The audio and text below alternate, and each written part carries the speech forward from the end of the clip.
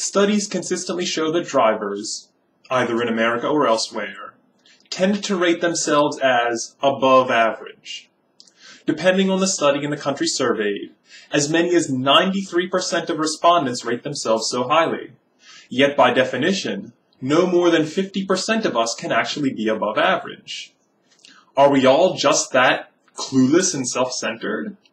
Well, maybe. Think for a moment about a scenario.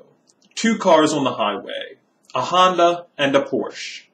The driver of the Honda putters along at exactly the speed limit, which is slower than almost every other driver. By contrast, the driver of the Porsche speeds along at 35 miles per hour over the limit, which is faster than almost every other driver.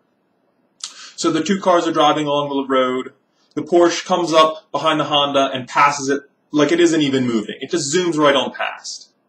And the Honda owner thinks, wow, what a maniac in that Porsche. I'm a way better driver than they are. While the owner of the Porsche thinks, wow, what a slug driving that Honda. I'm a way better driver than them. That our two subjects give different answers to the question, which of the two of you is a better driver, is perfectly consistent.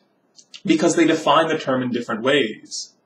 The Porsche driver probably thinks that getting where you're going quickly matters a lot, and perhaps that driving too slowly causes more problems than it prevents, while the Honda driver probably favors safety and living with low stress. For driving isn't just a matter of objective skill, but also of philosophy. We all tailor how we drive based on our individual values, which we build based on our experiences, interactions, and calculations. In a way, asking someone how they stack up as a driver is a bit like asking them something like, which religion is the best? We would expect most people, assuming they give the question the time of day, to rate the religion they follow as the best, because if they didn't think that, surely they'd change. Similarly, if you didn't think that your driving habits were wise, surely you'd adjust. And then you probably come to think that your new habits make you above average all over again.